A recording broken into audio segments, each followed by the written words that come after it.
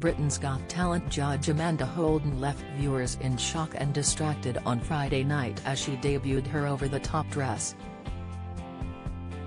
In homage to the Queen's Platinum Jubilee, Amanda sported a dress with a long veil with the Union Jack printed on it, with a red corset top and crown.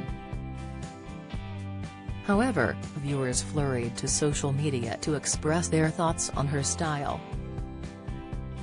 Taking to their Twitter accounts, at Floss Rambles commented, Oh god, what is Amanda wearing Hashtag BGT. Katie Moore exclaimed, what the hell is Amanda wearing Hashtag BGT. At Pinnipeds Top 33 joked, that's a lot of Aldi plastic bags, Amanda. Hashtag BGT. Faisal Latif added, Amanda's outfit is cringe, haha hashtag BGT. At Dajier asked, is Amanda supposed to be the queen or something? Hashtag BGT, accompanied with a rolling eye emoji. However, not all viewers had a negative opinion about Amanda's dress, with it Janie Baby 88 praised, well Amanda looks stunning. Going all out in spirit of the Queen's big weekend. Sick, as they took their seats, hosts Ant McPartlin and Declan Donnelly joined them at the panel to see how they were feeling ahead of the final semi-finals.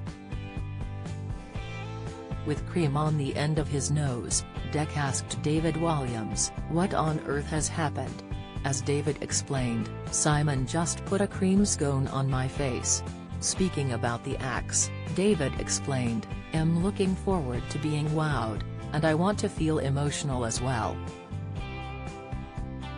And went on to ask Alesha Dixon which acts she was most looking forward to seeing, where she revealed, oh, there is a lot tonight, but I think Simon's Golden Buzzer act. Dec asked Amanda, anything missing from the final lineup?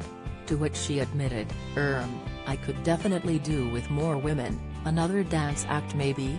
Simon Cowell spoke about his Golden Buzzer act and exclaimed, I am really excited, you know we always save the best until last. Tonight, the final set of acts took to the stage in a last-ditch attempt to impress the judges and the viewers at home for their spot in the final on Sunday. Taking to the stage tonight was Simon's Golden Buzzer act, comedian Axel Blake who won the judges over with his stand-up comedy.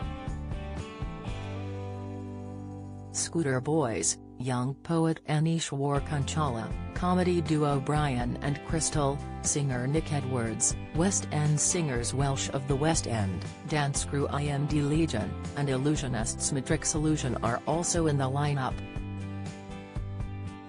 In every show, two acts win their way into the live final on Sunday, with the opportunity of winning an incredible £250,000 and a spot at this year's Royal Variety performance.